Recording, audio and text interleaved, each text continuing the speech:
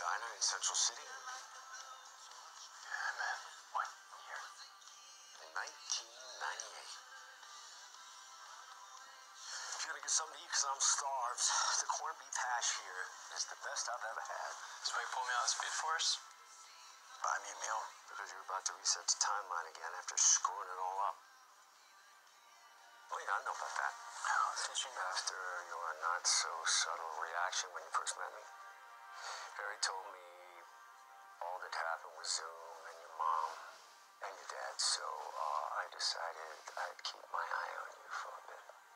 He tell you anything else? He did. I'm your father's doppelganger. Sorry about that. It's just really weird. I'm really sad too. I'm sure. Having a loss like that in your life, I see why you'd want to erase it. Who wouldn't try to save their parents? I understand that very completely.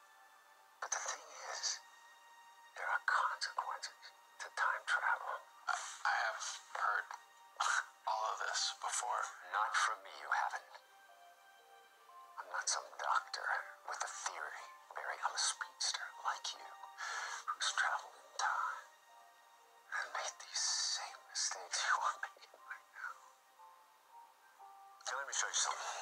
You know what? Humor me, kid.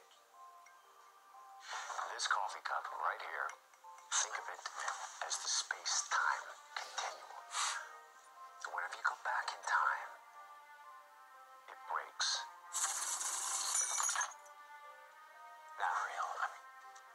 reset the timeline. You can try to fix it.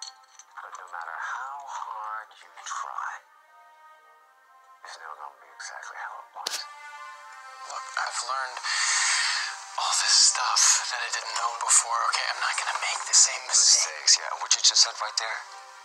That is the paradox of time travel and also the paradox of life. I mean, if I only knew then what I know now. I have these powers. If I can't go back and fix what I broke, We're not gods.